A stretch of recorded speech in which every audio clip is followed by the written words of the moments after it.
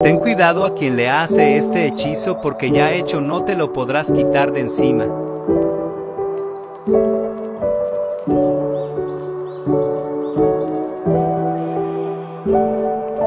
En un papel en blanco vas a escribir tu nombre con tinta roja y el de esa persona introdúcelo en un vaso de cristal con agua.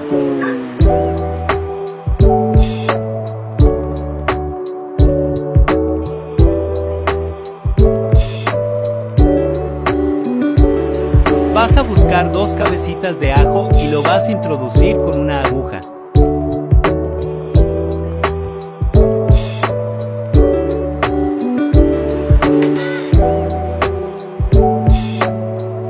Una cucharada de canela.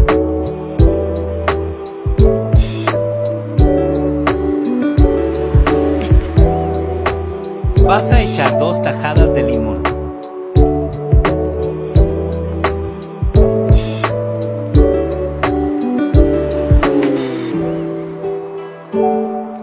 Y échale un buen poco de miel.